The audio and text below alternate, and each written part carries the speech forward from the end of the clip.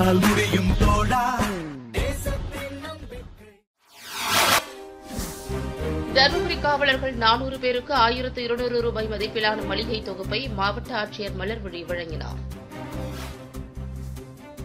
கிருஷ்ணகிரி மாவட்டம் காவேரிப்பட்டினம் பகுதியைச் சேர்ந்த சீனிவாசன் என்பவர் தருமபுரி மாவட்டத்தில் உள்ள தாலுகா காவல் நிலையத்தில் பணியாற்றக்கூடிய காவலர்கள் மற்றும் ஆயுதப்படையில் பணியாற்றக்கூடிய காவலர்கள் என நானூறு காவலர்களுக்கு மளிகை பொருட்களை வழங்க முன்வந்தாா் தொழிலதிபர் வழங்கிய அரிசி துவரப்பருப்பு வெங்காயம் எண்ணெய் உள்ளிட்ட ஒன்பது பொருட்கள் அடங்கிய ஆயிரத்து இருநூறு ரூபாய் மதிப்பிலான மளிகை தொகுப்பை தருமபுரி மாவட்ட ஆட்சியர் மலர்விழி காவலர்களுக்கு வழங்கினார்.